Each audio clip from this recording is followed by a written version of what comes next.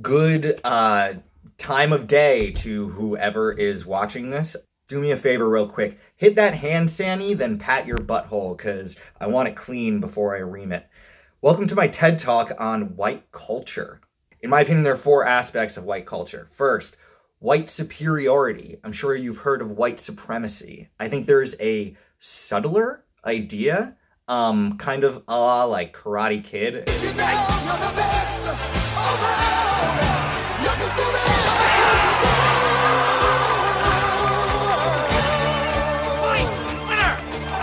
The concept being that like a white person or white people believe they can enter into a culture and then rapidly excel faster and beyond people who have lived in that culture their whole lives. It's so bad. I'm just to cut to uh, John Carter from Mars real quick. I claim the right of challenge. You have no right to challenge.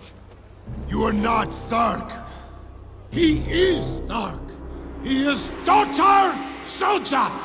Dotar Sojat! Dotar Sojat! Dotar Sojat!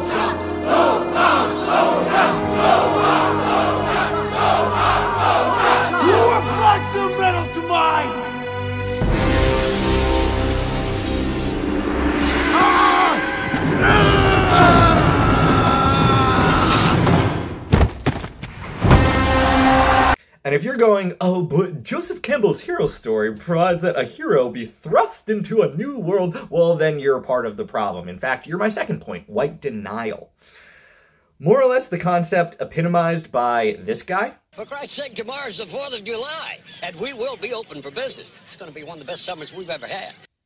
And uh, also this guy. Ultimately, the goal is to ease the guidelines and open things up to very large sections of our country as we near the end of our historic battle with the invisible enemy. It'll go on for a while, but we win. We win. I said earlier today that I hope we can do this by Easter. I think the perfect example is that joke that was going around a few years ago when Bluetooth came out. Um, when people were like, let's give all the homeless Bluetooth. That way they can, you know, they'll just be talking. We don't have to see that they're crazy. Exemplifies how, as a culture, we like to deny the root cause, treat the symptom, and ignore, ignore, ignore. Uh, it's caused us to deny major atrocities and our own just minor missteps. And I think it's led to a type of person that I'm going to coin as the white clam.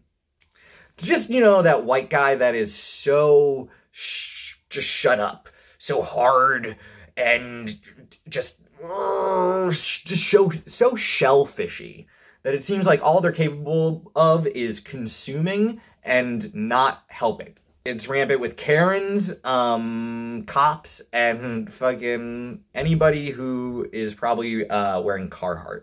And if you're counting, um, the fourth aspect is brunch, which was invented by an English guy named Guy. And if that isn't white, I don't know what is. Thanks for coming to my TED Talk. Long time show. It's the show that's long.